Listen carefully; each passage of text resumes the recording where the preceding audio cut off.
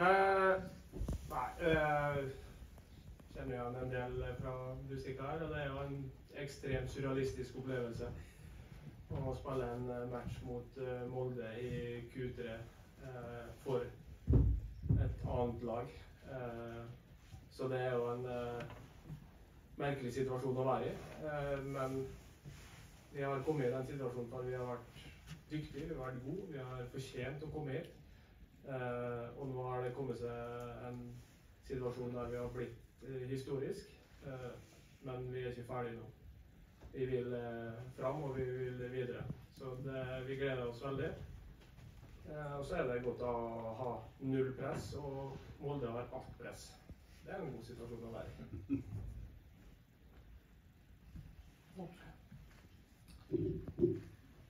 Just take it in English or understand. Uh, I can agree with Martin. It's it's been a it's been a good journey so far, uh, and uh, of course historically we have as a, as a minimum reached the conference uh, group stages, which which has been our goal for many years now at the club uh, to get into a European group stage. So we're extremely happy with that, but but but uh, as Magnus said, also we we we want more, uh, and we we think we can uh, uh improve a lot more, uh, and uh, I think the game now against Malta is a good op opportunity. Of course, of course there are big favorites, a really strong team, the Malta, Dania, the Vekar, and and and the other Nor Norwegian know them really good, uh, and, and uh, it's a good, strong team uh, that we meet tomorrow.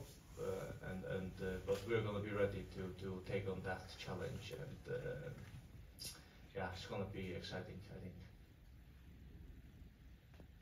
Spurningar, spørsmål?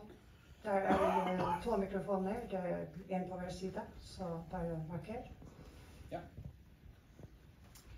Magne, etter de to store resultatene først mot Ferencvaros og så mot uh, Bygger Hekken, så, så liksom alle verdenspressen viser uh, interesse for Kari, Klaksvik og dine spillere. Er det noe som forstyrrer forberedelsene til neste kamp? Vi holder på med en underholdningsbransje, og når vi først underholder, så må vi takle at det kommer litt, litt media og litt positiv oppmerksomhet. Og så er det jo en i en verden der eh, grådighet spillere flykter etter, etter, penger, og det setter mer og mer press på klubber som skal betale høye lønninger, så er vi en plass å komme oss til eh, Champions League-kvalik nummer tre med hardt arbeid, med folk som jobber hver eneste dag eh, utenfor fotball. Så jeg har hørt at det blir lagt merke til, for at det er en helt annen situasjon enn eh, til og med jeg er vant til. Eh, så den eh, oppmerksomheten der er bare positiv. Sånn så håper at det setter søkelyset inn mot andre klubber som eh, ser at du trenger ikke store ressurser for å få store resultat. Men den mediekjøret som har vært, det, det, må vi bare takle. Sånn er det når du kommer hit og spiller her. Og jeg tror spillerne håndterer det veldig bra. Blir det selvfølgelig så masse at vi må ha en litt ekstern hjelp, for vi er en liten klubb med ikke så mange ansatte. Og det har vi gjort nå, og håndtert det veldig bra. Så det er fint. I, i forhold til uh, gruppespillet her i høst, uh, er, er, det noe i, i jobber frem mot at uh, spillerne kan få mer fri fra jobb og konsentrere seg mer om fotball? Vi har eh, trenerteamet har vi snakka om det. Vi har ikke fronta det fram til ledelsen ennå. Eh, vi, vi, har en fire-fem som er ansatt med en eh, som sitter i styret. Og jeg er litt usikker på om han er, vil det, for da blir det trøbbel med selskapet. Men jeg tror nok vi skal klare å finne en løsning på det, og så får vi se om det er For det er jo sånn at de, det her er de vant til. Det har de gjort hele livet. Så hvis vi tar dem ut av arbeid, så kan det hende at vi tar dem ut av komfortsona si. Der det er stille, rolig, og får fokusere på arbeid, og så kan de fokusere på jobb etterpå. Så vi må være veldig forsiktige at vi skal at vi skal gjøre alt profesjonelt nå for at vi har kommet hit. Det er en grunn til at vi har kommet hit. Det er de spillerne som har tatt oss hit. Så jeg vil ikke forandre på noe hvis vi ikke trenger å forandre på noe, så gjør vi ikke. Men hvis det er eh, bra for spillerne, så vil vi forandre på det. og dem må være enige.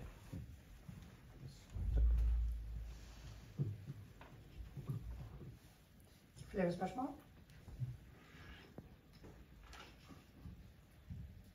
Kan du, kan du si noe om truppen og skade, skadede spillere, om alle festene?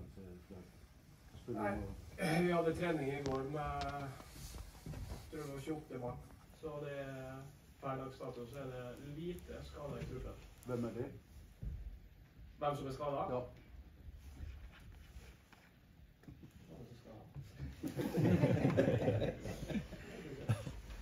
Nei.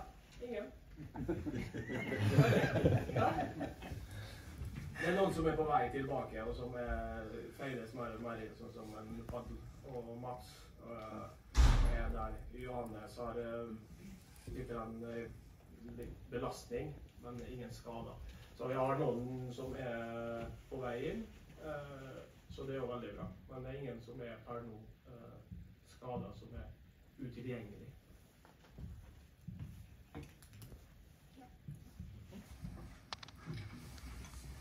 Jeg Vil ikke endre på så mye, sier du, Magne. Eh, Hva skal dere bruke alle pengene på? Utvikle anlegg, utvikle akademi eh, og utvikle spillere. Skal ikke kjøpe spillere. I, for, I forhold til de pengene dere allerede har tjent nå, um, i forhold til det budsjettet dere har fra før, stor endring er det egentlig.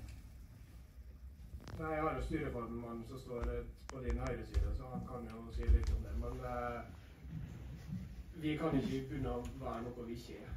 Eh, vi er en hardt arbeidende klubb eh, med, med folk som jobber og står på hele veien. Eh, det er en frivillighetsklubb. Vi har nå fire, nei fem eh, ansatte på 100 Resten er, er der for at de har stort hjerte for klubben.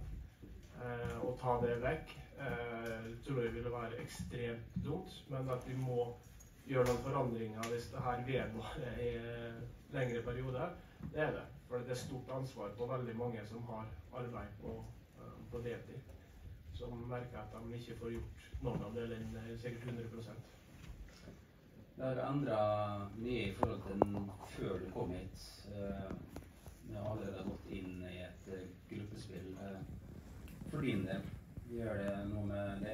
Blir du her lenger enn du hadde planlagt? Blir du her kortere? Har ikke eh, kun fokus på det som skjer, skjer i morgen. Eh, lenger enn det orker jeg ikke å tenke. Jeg har vært med på det gamet her nå i 30 år, pluss minus. Eh, så å ta og prate om hva som skjer om to dager, det har jeg funnet ut at det er bare dumt og tar vekk fokus. Så det er ikke noe Livet består av øyeblikk. Ikke av det neste øyeblikket, men det her øyeblikket.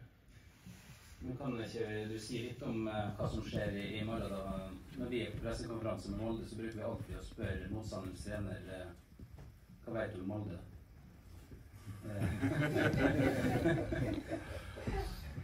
Hvor skal jeg begynne? Jeg styrer formann og med til materialforvalteren. Jeg kan ganske mye om Molde. Daniel kan ganske mye om Molde. Spillerne har begynt å få veldig mye informasjon om Molde. Eh, så vi har nok informasjon, og så er det for oss å bruke den informasjonen godt nok til at vi klarer å få et resultat, eller en prestasjon, i morgen. Eh, det er det som teller. Nå har jo tilfeldighetene vært da, eh, at alle deres kamper har vært vist godt i Molde-området, så Molde vet kanskje mer om dere enn de tidligere motstanderne deres, kanskje? Ja, det vil jeg tro. Og det er jo det er noe sånn at de andre har jo Ferencvaros oss undervurderer oss masse. Hekken eh, kanskje litt. Eh, Molde vil ikke gjøre det. Så det blir den tøffeste kampen vi kommer til å spille. eh, 100 For at de er mer klar på hva som kommer. Men eh, det går jo begge veier. Det er jo ikke noen som har mer informasjon om Molde enn det vi har. Av noen europeiske lag. Så. Vi skal snakke mer senere, så er det kanskje andre som har lyst til å stille noen spørsmål.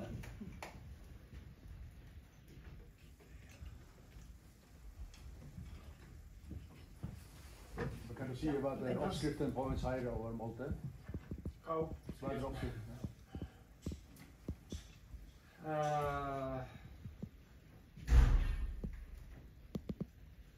Kan ikke gjøre Vi har, vi har funnet en oppskrift som funker bra i Europa. Så må vi bare bli bedre på detaljer. Eh, vi må være raskere til å se de rommene som oppstår, når de oppstår, eh, og utnytte dem. Eh, kanskje gått inn med litt for mye respekt gjennom de tidligere kampene. Kamp én, vel å merke, mot både Ferencvaros og Henkel. Eh, vi må lese klimaet litt bedre, litt tidligere, så kan vi straffe Molde på det de ikke er så gode på.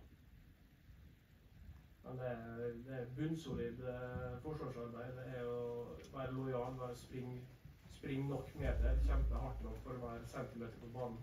Det er det som teller for oss.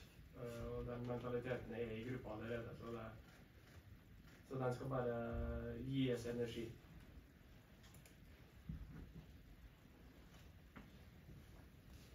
Ja, så sier vi takk til Magnus og Jakob Andreasen. Så.